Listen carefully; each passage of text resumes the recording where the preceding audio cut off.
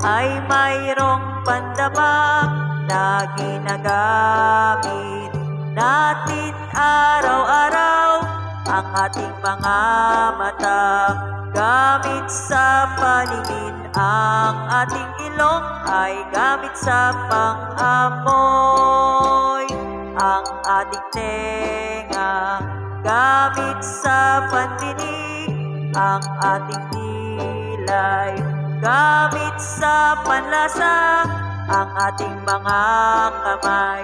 Gamit sa pansalat tayong mga tao ay mayroong pandama.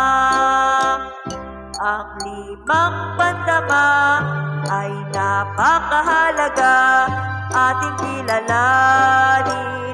Ang mga pandama aralin at ating tiyakin na matututunan ang limang pandama.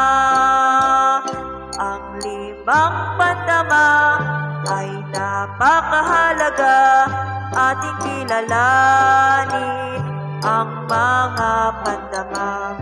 Aralin natin at ating tiyakin na matututunan ang limang pandama